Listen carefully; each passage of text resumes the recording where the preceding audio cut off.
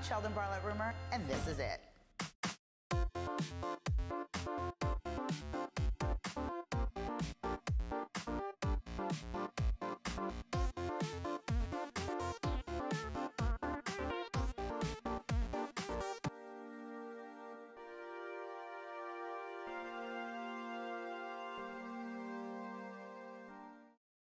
Who doesn't love happy hour? Well, it's always 5 o'clock at Del Frisco's.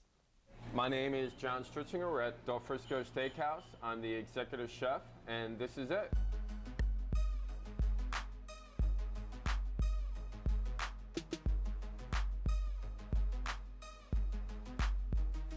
Thank you so much for having us here at Del Frisco's. Tell us what we are looking at. These are all bone-in ribeyes. Okay. Okay. The, uh, the reason I brought three different of these steaks out, you got one cut that's a little leaner than Yeah. the other. So you see this one here. This is has a little bit less fat. This one has a little more fat Right. in the center of the ribeye itself. When people see this, at times they might think, "Oh, that's fat." That's not fat. That's marbling. and, beautiful and beautiful. Yeah, it's flavor. So Wow, that, that's that's what you're looking for. Um, now with the wagyu, Yeah, talk to me about this thing. now What- this what is a 32 ounce long bone. um, Oh my gosh. Wagyu. So it's an American wagyu beef. So it's cattle that is bred from Japan Wow. with American cattle. Wow. Um, and becomes wagyu beef. Now, these are very hard to come by, but you can see the color in it, the marbling in it. Um, it's just filled with flavor. And anytime the steaks are cooked on the bone, it just adds a lot more flavor. These are New York strip steaks. So Okay. what you're going to get with the bone and ribeyes, you're going Right. to get a lot of flavor. Got it. You, um, you know, the leaner cut's going to be a little more tender. With the strip, you're going to get a lot of flavor. You still get the good marbling, Right. but you're going to get a little bit more tenderness. And the trick is having a coarse pepper Okay. and a coarse salt. Oh, okay. That's And, interesting. and we generously season our steaks, so Okay. these are seasoned very well. All right, generously. I love that. generously. I love and that part of the reason why is because when you cook them on a grill, when you cook them at home, Yeah. some of that seasoning falls off. Sure. Okay. So we want to get a good coating. It's a nice there. tip. Yep. I like that. So how do you suggest the perfect steak be cooked?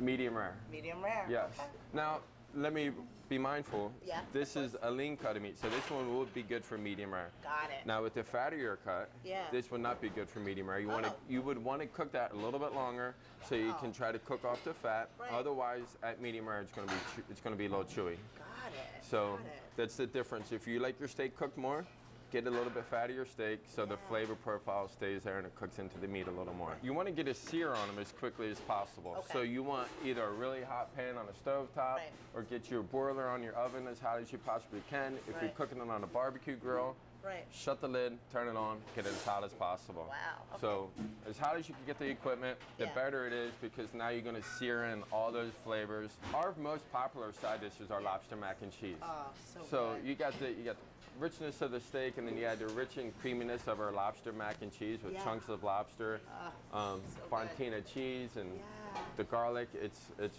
awesome. One of It's my really, favorites, Really, sure. really good. We're gonna go walk around the restaurant and see what else is here at Del Frisco's. Great. All right, Appreciate thank that. you. Thank you.